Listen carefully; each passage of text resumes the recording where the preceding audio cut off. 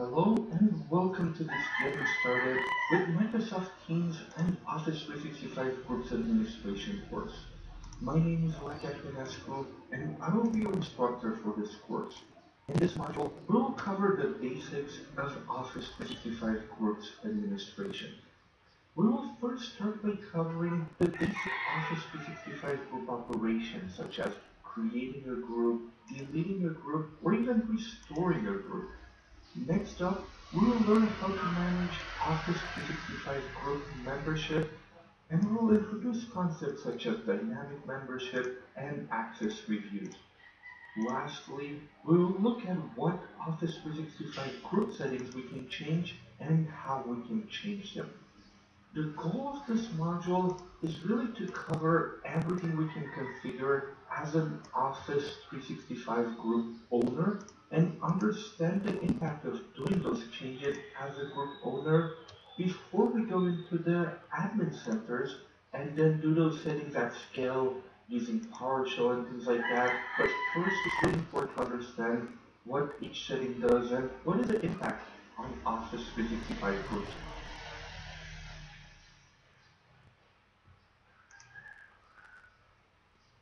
Let's start with the basic Office 365 group operations.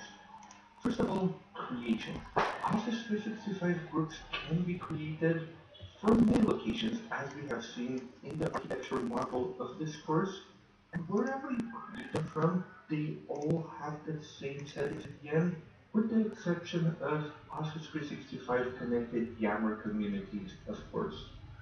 The only difference from the same point of view, creation is that creating from certain locations might give you more or less initial options, but you can always configure the same settings if you go to the group properties afterwards. It's just that that initial creation wizard is a bit different. Now, who can create Office 365 groups? Well, any Office 365 user can create an Office 365 group by default, so you close it down, the answer is really everybody. You can, however, limit group creation to only allowed individuals, but we won't go into that in this course as it will be covered more in detail in another Pluralsight site course called Configuring Governance and Compliance for Microsoft Teams and Office 365 Groups. Now let's start looking at an example of creating a group from Outlook. Some of the properties we need to provide are, first of all, the display name of the group, which is what users will see. We then have the email address of the group mailbox, which is automatically generated based on the display name, but it can be manually changed if you want to.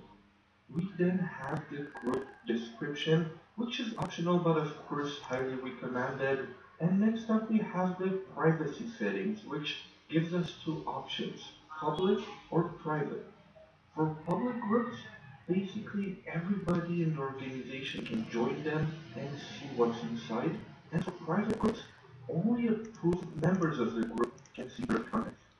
Next up, we have the option to select if you want to send copies of the conversation to group member inboxes. When you turn the setting on, group members will get a copy of the group emails and meeting invitations sent to their Outlook inbox. They can read and delete this copy of the email and not affect anybody else in the group. In the group inbox, a copy of that email still exists. It's really if you just want them to also get a copy in their individual inboxes. The last one is the language and simply selecting the language that the group-related notifications will be sent in. Lastly, we can add both members and guests to the group so we can start collaborating right away. You cannot add other users directly as owners from here, simply members and guests. Now let's take a look at another example where we created from SharePoint Online. In the SharePoint group creation process, most of the settings are the same, so we have the site name, the group email address, site description, which will be the group description, privacy settings, and language. However, as you can see in the screenshot at the bottom right, I can add owners directly to the group as part of the creation process, but I'm not able to set email subscription preferences. Planner is one of those options. There is really no membership options in the creation wizard, no subscription options either. All of those have to be changed after group creation. So again, depending on where you create it from, you're going to get different options at creation. But in the end, it's still an Office 365 group, so you can always modify it and you have always access to the same options afterwards. Depending on previous configurations by administrators, you might see other options in there such as classifications, sensitivity labels, group usage guidelines, and so on. Those will be covered again in the configuring governance and compliance for Teams and Office 365 groups course, but for now we'll just stick to only out of the box basics.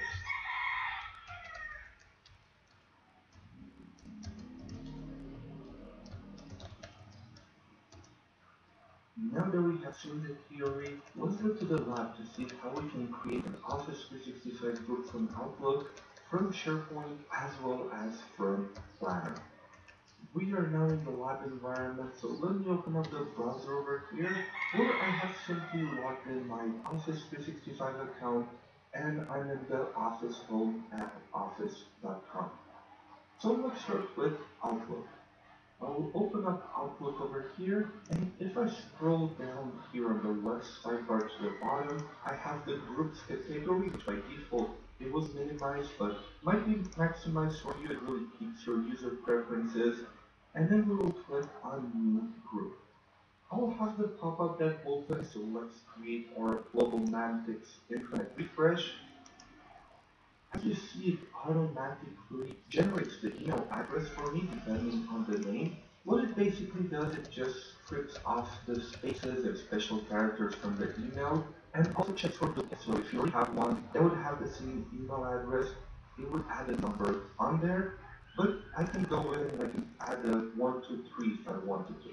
But I'm not going to do that. I like it like that.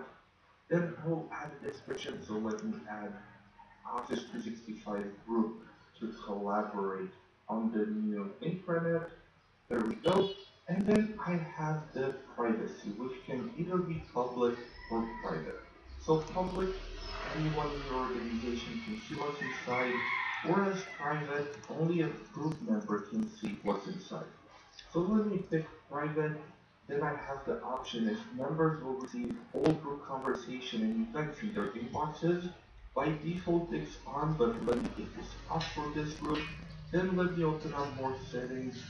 And then I have the language for the group related notifications, or I can pick any of the really hundreds of languages that Office 365 supports, but I will keep it at English United States.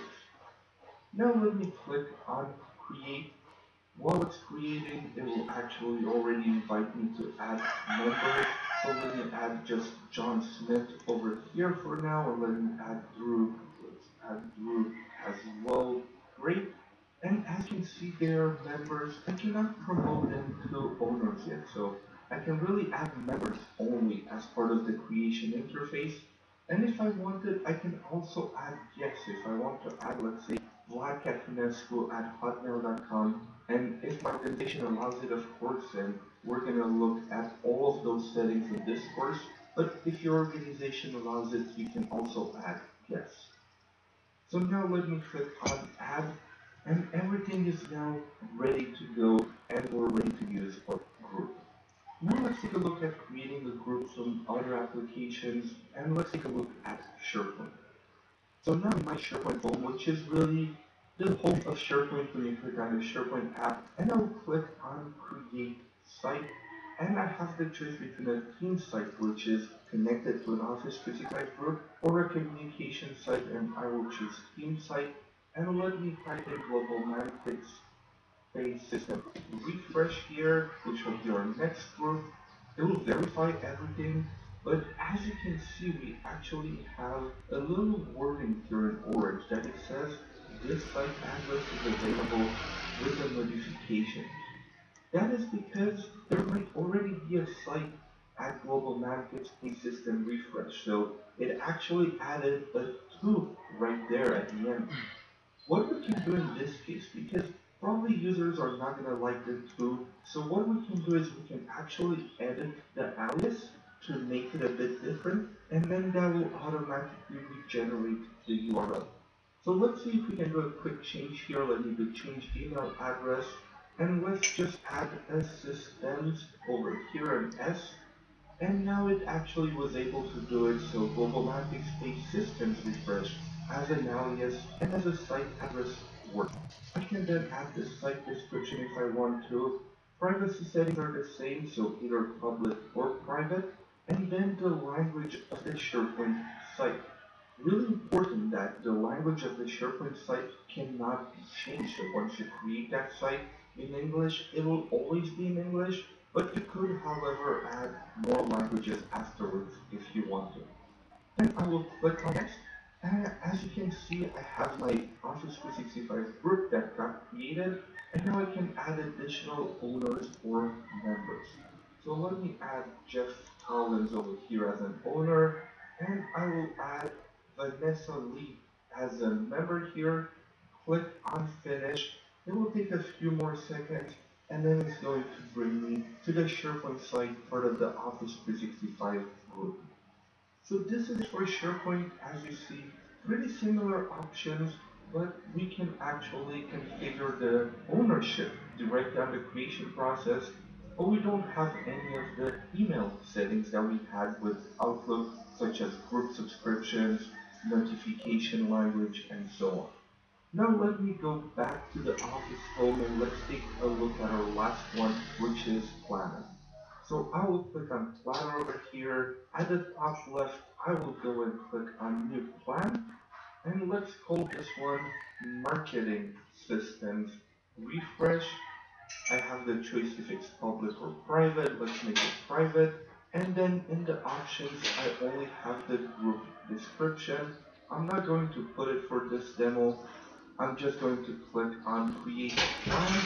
And this is it. It created the Office 365 group, it created the plan, but I don't actually have any members yet. So there's no membership part of the creation process. I have to manually go in and add members after the group was created. This is it for this demo in which we have simply looked at how to create an Office 365 group from the user interface and at the different options we have depending on where we created from.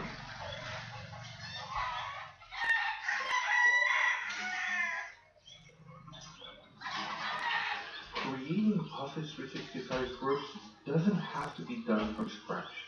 Sometimes you can upgrade existing resources to Office 365 groups, such as a standalone SharePoint site.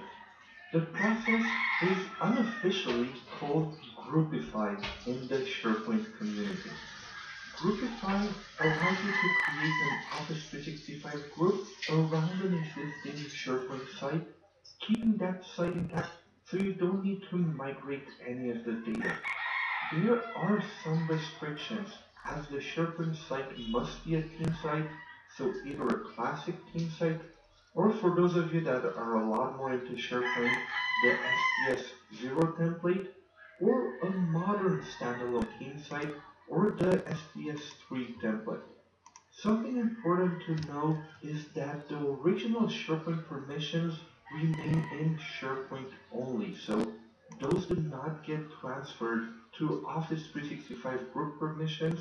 You need to take care of it separately, either manually or programmatically. To connect an existing site to a new Office 365 group, from the Site Settings menu, you will see the Connect to New Office 365 Group option if you are a site collection administrator and if your tenant administrator did not disable it. This will really only show on sites on which Groupify would work on, so again, the two team site templates that I have shared earlier. You can also use PowerShell to bulk Groupify SharePoint sites.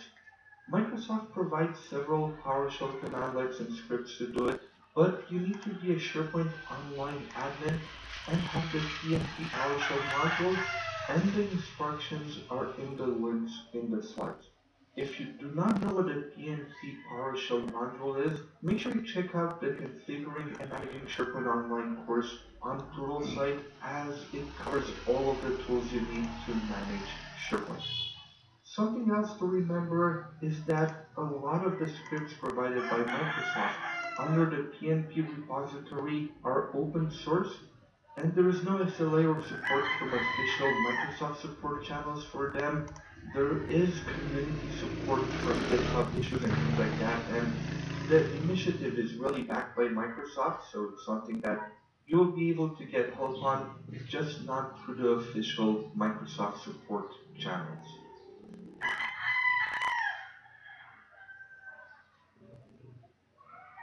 Another type of artifact that we can upgrade to an Office 365 group are distribution lists. You can upgrade distribution lists to Office 365 groups to give users additional collaboration capabilities. In order to upgrade distribution lists to Office 365 groups, you need to be an Exchange Online admin or a global admin, and you can do it in the Exchange Online Admin Center or in PowerShell. This is really an admin level action, not something you can do for not a service admin. The upgrade process can take anywhere from a few minutes to a few hours, and it's important to know, kind of like SharePoint, not all of the distribution lists are eligible. You can only upgrade cloud managed, simple, non-nested distribution lists. Let's go a bit more in detail. Some example distribution lists that are not eligible for upgrades are system managed distribution nested distribution lists, distribution lists that have more than 100 owners, distribution lists that only have members but no owner, and there are quite a few more restrictions, so I have added a link there to Microsoft Docs where all of the restrictions are shown. And I know that I said we'll not go into too much Admin Center or PowerShell in this course, but in this case it's really relevant, so I'll cover it briefly. You can easily get all of the eligible distribution lists to the Exchange Online PowerShell commandlet get eligible distribution group for migration.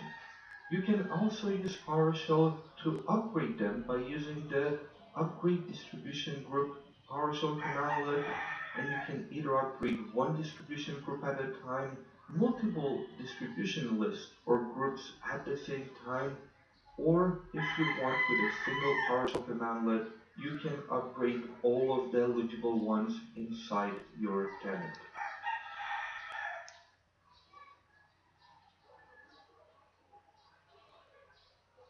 Now that we have stock creation, let's also talk about Office 365 group deletion because you do not have to keep Office 365 groups forever.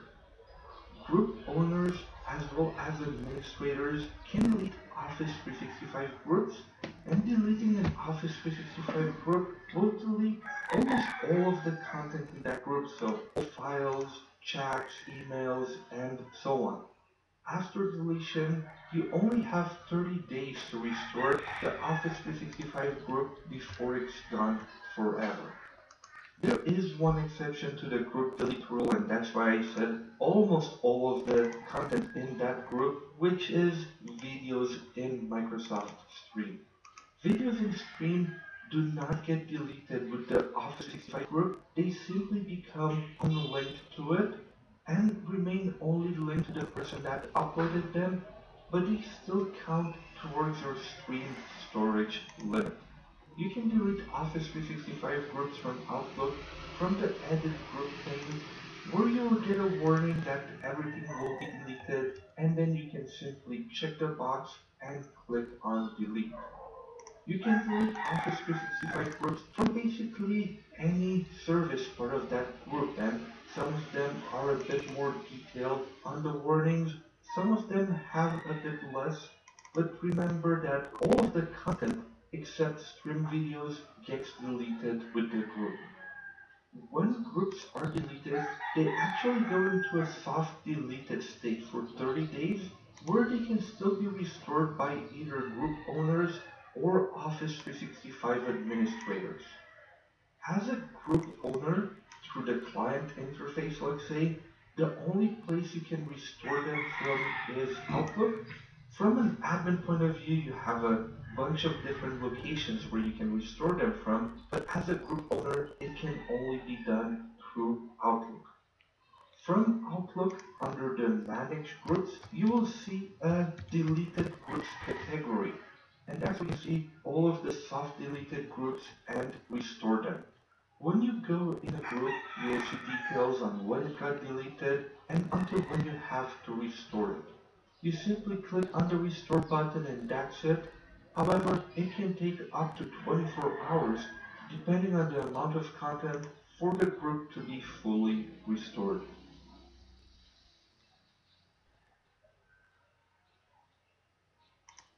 Now that we have seen the theory, let's go in the lab and see how we can delete an Office 365 group and then how to restore a deleted Office 365 group. We are now in the lab environment and let me open up the browser over here and I will go to Outlook and let's scroll down to the group category here. Let's take the Globomantics Intranet Refresh and in order to delete it we go into settings and then we need to go into edit group and at the bottom we will have the delete group button. So let me go and delete group over here.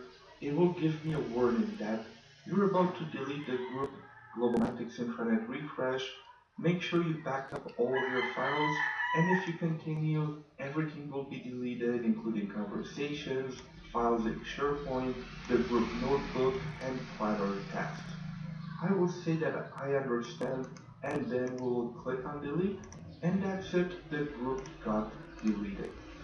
Great, now if we want to restore groups, I simply go into the manage groups over here at the bottom and after that, I always by mistake, I see the first deleted over here folder, but that is for contacts we actually need to scroll down and then under the groups category, we need to go to the deleted page and you can see I have the Globomantics Intranet Refresh that got deleted today.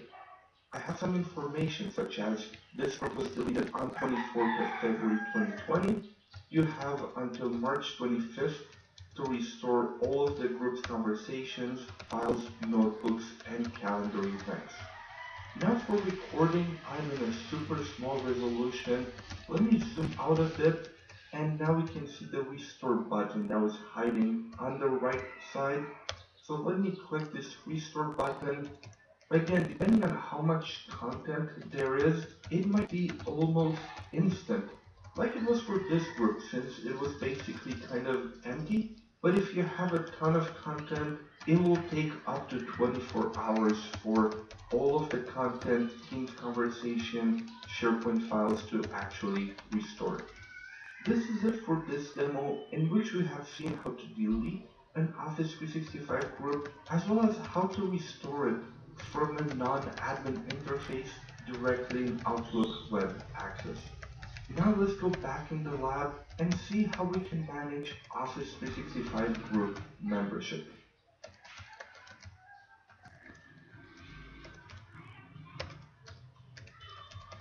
Next up, let's talk about Office 365 group membership.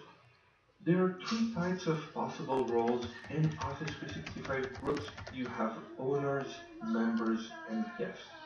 Group owners can add or remove members and have unique permissions like the ability to delete conversations from the shared box or change most of the settings about the group. Group owners can also rename the group, update the description or picture, and more. Members can access everything in the group, but they cannot change group settings. And finally, group guests are members, but they are from outside of your organization.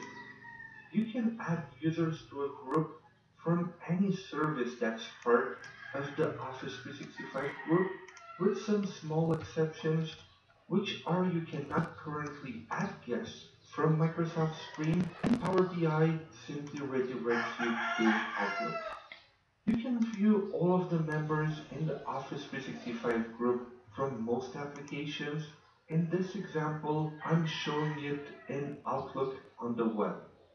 To add members, you simply click the Add Members button and users are always added as members first, but you can quickly promote them to owners from that same interface by simply using the drop down where it says member and then you can either choose between member and owner and you can also delete members from that same interface by simply clicking the X button. And the experience is very similar in other services. You can see here in Stream, uh, we have a SharePoint here. Teams is also very, very similar. But there is of course another exception to remember for Office 365 group membership, which is SharePoint. SharePoint is the only service in groups that can have additional users added only to that service, whereas all of other services in groups rely on the group membership. When you add people to SharePoint, as you can see in the screenshot on the left, you can add them only to the SharePoint site and not necessarily to the group. So it can people added to the site. Now that we have covered the basics, there are actually two types of Office 365 group membership management. The first one, which we have seen so far, is called assigned membership. And this is where members are managed manually by group owners, kind of like we've been doing so far. The second one is called dynamic membership, and this is when members are added and removed automatically based on dynamic rules. Group owners cannot manually add or remove members from the group, and it's really based on those rules that create. Users cannot even leave groups if they want to. Dynamic membership groups do have some extra requirements.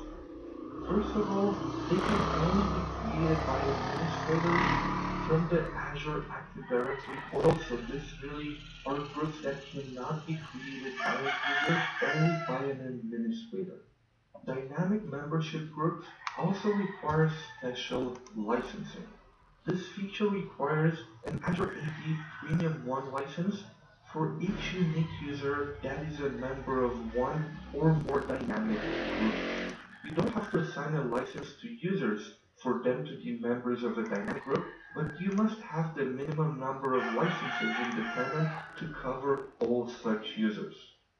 For example, if you had a total of a thousand unique users in all dynamic groups in your tenant, you would need at least 1000 licenses for Azure AD Premium 1 to meet the license requirement to build those rules, you have a nice user interface-based option in Azure Active Directory in which you can simply add rules and it's very straightforward to use.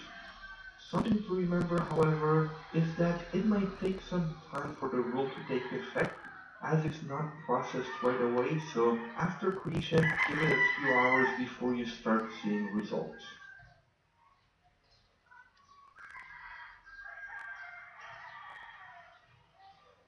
Now that we have seen the theory, let's go to the lab and see how we can manage Office 365 group membership for assigned groups, as well as how to create an Office 365 group with dynamic membership. We are now in the lab environment, so let me open up the browser, and first of all, let's take a look at the assigned membership groups. So I will go in the Globomantics intranet refresh group that we've played a bit with earlier and in order to add members, I will simply click on the three members here. So let me click on it and it will bring me to the members view. If I want to add members, I can simply click on the add members button. And then let me start typing Vanessa Lee. Let's add Vanessa to this group. Select it. I will click on add, which will only take a few seconds.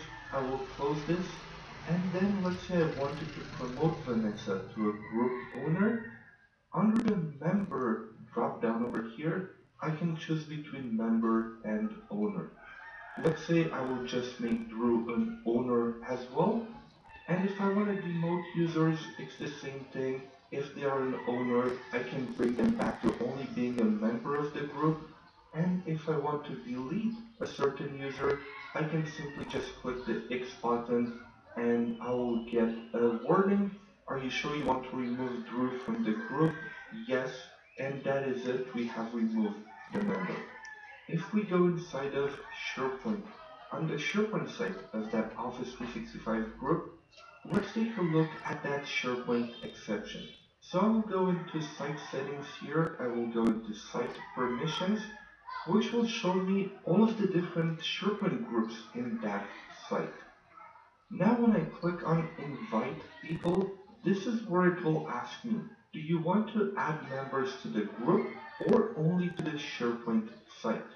If I click on add members to the group, I will see the exact same settings as in Outlook before, so same membership, same everything. Now let's take a look at dynamic membership groups and I went into the Azure Active Directory portal or admin center and let's click on new group here. So new group, first things first, group type I will choose Office 365 and I will call it research collaboration. It will automatically generate the email address which I can go and change if I want group description, so same thing as before. And then by default, you see the membership type is assigned. And by default, you can see the membership type is assigned. And I have the option to add owners and members. But let me switch that to dynamic membership. And as you can see, the adding members has gone away. Instead, I can pick up owners and then add a dynamic query. So let me first of all go in owners. I will add Alex West and then let me also add Vlad Catrinescu select. So I added two owners. And now let's go add the dynamic query. Adding the dynamic query from the admin center is pretty easy. Let's say what I do is I'll search for department. So I'll say where department, let's do equals, and then the value is research. I can also add more things. So for example, I can say or department equals R&D or something else. And then I can say and country equals Canada if I want them to be actually in Canada. So I really have an easy to use UI for my rules here. But if you know what you're doing or you want to build something complex, you maybe collaborated with somebody from external, you can always click on edit here and actually edit the rule syntax directly. So instead of using the UI builder, you can directly type it in as text.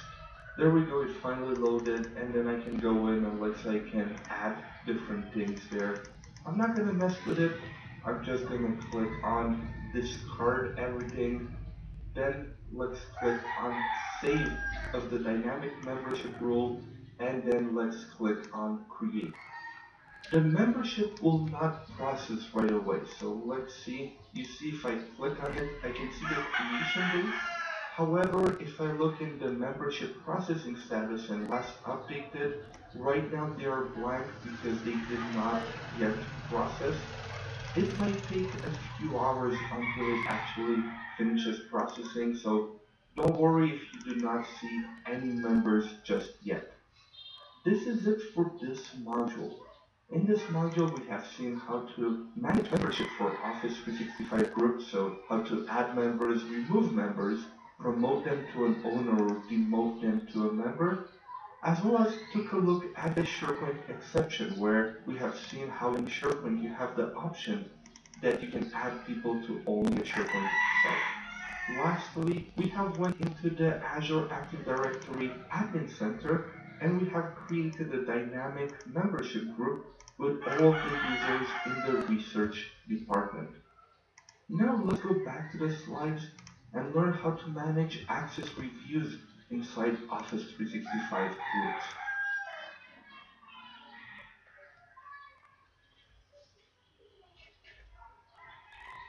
We know now how to manage group membership, but we also know that most of the time group owners are not proactive in reviewing group membership and this is where a feature called Access Reviews comes in. Azure Active Directory Access Reviews enable organizations to efficiently manage group memberships to enterprise applications and role assignments. Users' access can be reviewed on a regular basis to make sure that only the right people have continued access. Access reviews allow you to proactively engage Office 365 group owners to verify the membership of their groups either only for guests or for all members and you can configure it to run only once or on a schedule such as weekly, monthly, quarterly, and so on. From a requirements point of view, this feature requires higher level licenses than dynamic membership as this requires Azure Active Directory Premium 2 licenses. You have to ensure that your directory has at least as many Azure AD Premium P2 licenses as you have employees that will be performing the following tasks. Member and guest users who are assigned as reviewers, member and guest users who perform a self-review, group owners who perform an access review, application owners who perform an access review, but no licenses are required for users with the global admin or user administrator roles that set up access reviews, configure settings, or apply the decisions from the reviews. Azure Active Directory reviews are created well in the Azure Active Directory portal and they are pretty easy to create. You first need to specify the name, description, start date, and frequency and you have a drop down for all of the possible choices for the frequency. You can also specify an end date and duration of the review and select what type of access should be reviewed, guest only or guest and members. You can also select the applicable groups this access review applies to, so you can even have different schedules and options for different groups if you want to. You can also customize the reviewers, which can either be group owners, a custom list of users that you specify in the selected users, or self-review, meaning that the members themselves will choose if they should still be in that group or not. After that selection is done, we also have the settings on what to do once the access review is completed. First one is, do you want to automatically apply the results to the resource? Meaning that if the reviewer says that the user shouldn't be in the group anymore, should they automatically be removed? If not, an admin that looks at the access review will decide if they remove the user or not. You also need to specify what happens if there is no access.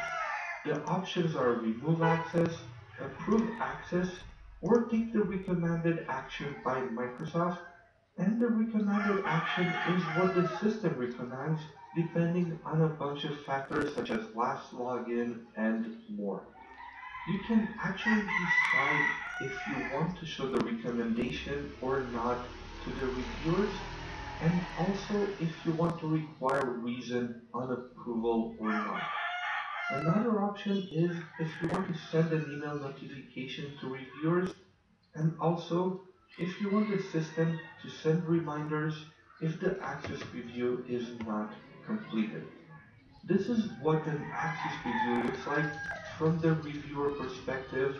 You can see the name, view by all of the users, as well as the recommended action by Microsoft.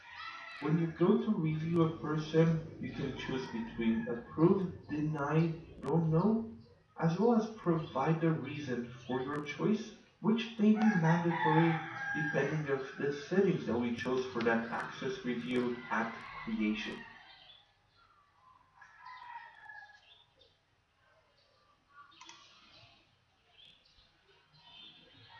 Now that we have the query, let's go in the lab and create an access review for Office 365 groups. We are now in the lab environment and let me open up the browser which I left exactly where we stopped the last demo because I wanted to show you that the research collaboration dynamic group that we had just created in the demo, it actually only took 4 minutes for the membership to start, this is kind of, of a luck thing. Sometimes it might take longer, sometimes it takes less time, but I wanted to use this chance to just spend 30 seconds on this. You can see that we have the membership processing status to complete. Membership last updated at 340. And if we go into members over here, we can see the two members that got automatically added. And because it's a dynamic group, I cannot add a member. That is it for the dynamic group I just wanted to go over. Now that it actually processed, now let's talk about access reviews. I have returned back to the root of the Azure Active Directory Admin Center.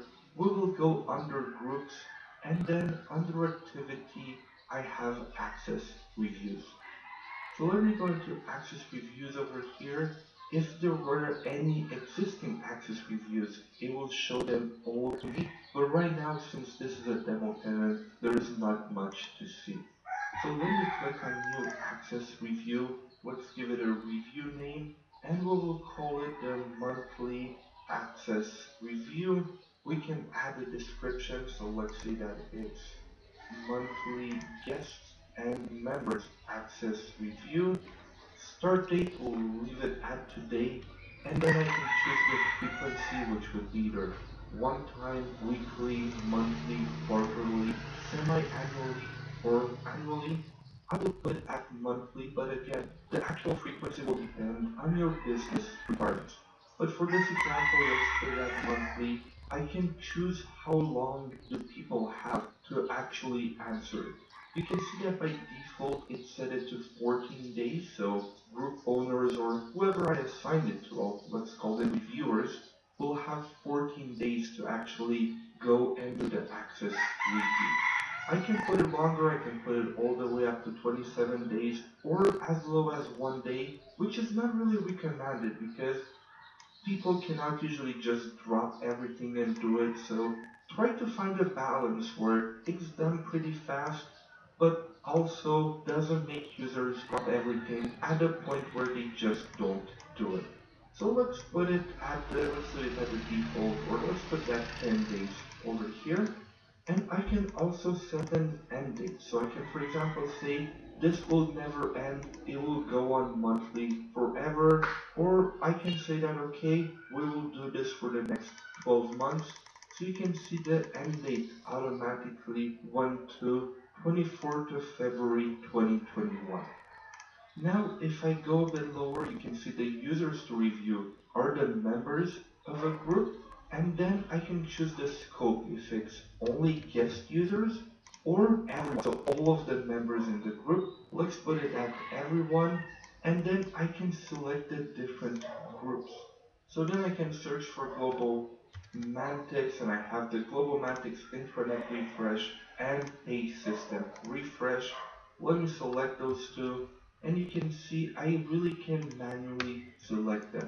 So depending on how sensitive the group is, you might even have different frequencies for an Office 365 group. So it's not a one size fits all. You can really go and be more dynamic with those access reviews depending on business requirements.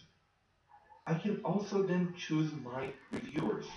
So I can say it's either group owners, so the owners review all of the members inside, selected users. Instead of having the group owners, do I want to say, let's say, Alex West will review all of the members in those groups? Or finally, I can say that it's members, so self. So each user will kind of get an email asking them, do you think you should still be part of the Globomantics Pay System refresh or not? And then they can choose themselves. The most popular option is usually letting the group's owners choose, so I will leave it at that. But again, you have a lot of flexibility depending on your business requirements. Then after that, let's go to the competition settings. And do I want to auto-apply results to a resource? So if a user access is denied, do we want to automatically remove them from the resource after the review is complete or not? let's put it at enable. And then what do we do if the reviewers do not respond? Do we not change anything? Do we remove access, approve access, or simply take the recommendations by Microsoft? Usually, most organizations put it at no change or take recommendation because if not, if you set it at remove access and nobody actually answers that access review, all of the members of the group can be deleted if you have the auto apply on. But really, this can depend on your business You have multiple options there. I'll put it at no change for this demo. And then under advanced settings, we have do you want to show the recommendation or not? Do you want to require reason on approval or not? Do you want to email reviewers when an access review starts and admins when a review completes? And do you want to set reminder emails to access reviewers in progress who haven't answered yet? Awesome, I will leave them all at enabled and then let's click on start. It will take a few minutes or a few seconds as we have seen here for it to start. Let me just refresh this page here and then we should be able to see our access reviews here. And even if we created them in the same plan, it will actually show them as two separate entries under access reviews. And you can see for both of them, the status is initializing. Once it's started, if I go to my Outlook to my email, I will already get the email to actually start that access review. But whatever choice I do today, it will actually wait the 10 days that we put for the duration before it takes any action. So even if I actually deny a user today, it will wait until the end of that review period before actually taking any action. As you can see, it will it can really take some time until it kicks off and kind of prepares everything. So we're not going to wait for it to actually happen just because it's a lengthy process to actually go through it. And we have seen the screenshots of what it looks like in the demo. Now that we have seen access reviews, let's go back in the lab environment and look at how to modify Office 365 group settings.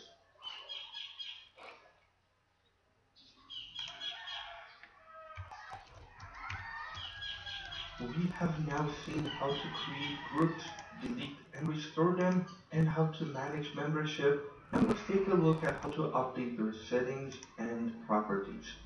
We can always the main group settings such as group name, description, privacy, and language of notifications. But we also have some application-specific settings in a way, for example for emails. Do you want to let people outside of the organization email the group or not? And do you want to send copies of conversations to group members' inboxes? In Stream, we also have the option on whether you want to allow all members or just owners to contribute videos in Stream. There are other settings at the admin level that we'll cover later in this course. As in this module, we try not to go in the admin centers but some examples include whether the calendar is read-only for members or not, if you want to disable the welcome email sent to new users, if you want to auto-subscribe new users or not, and if you want connectors enabled or not. Talking about connectors, you can also configure connectors for Office 365 groups, but we won't cover this topic in this course as all extensibility is covered in the Configuring Governance and Compliance for Microsoft Teams and Office 365 Groups course on Pluralsight.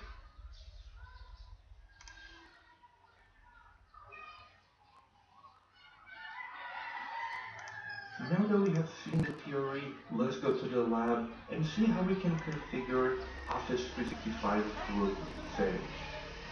We are now in the lab environment, so let me open up the browser where I'm in Outlook web in the Globomantics Intranet Refresh page. So let me go inside the three dots here, and then I will go into settings, and in order to change group settings, I will go into edit group. So what can I change? I can add a group picture, I can change the group name, I can change the group description and the privacy settings. So those are really group level settings that would impact every single application inside of the Office 365 group. I also have email level settings because I'm in Outlook on the web, so I can change the language for group related notifications. I can decide if I want to let people outside of the organization email the group or not. And I can also decide whether I want to send all group conversation and events to members' inboxes. And it tells me that they can stop following this group later if they want to.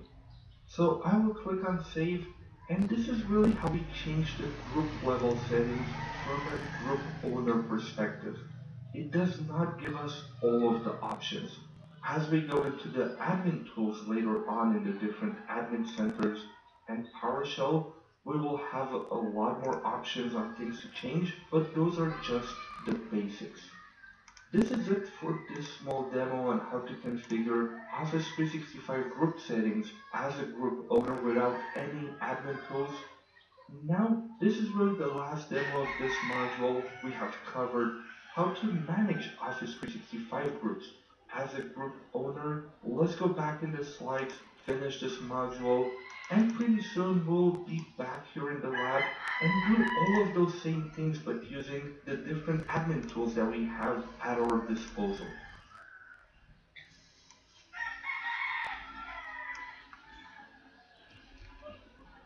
Before finishing up this module, let's review what we have learned.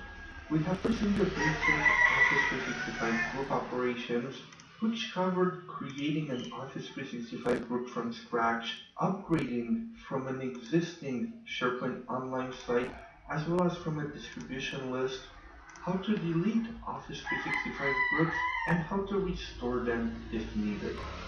We have then looked at how to manage Office 365 group membership and how to add, remove, promote, or delete members. We have also seen both membership models, which are assigned membership, and the dynamic membership model, as well as the requirements for dynamic membership. We have also learned how to create access reviews in order to make sure the membership of your groups is always only the members who need access to it. Lastly, we have reviewed how you can update Office 365 group settings as a group owner and what you can update. This is it for this module. In the next module, we'll take a look at the basics of Microsoft Teams administration. Thank you very much for listening and I hope you found it informative.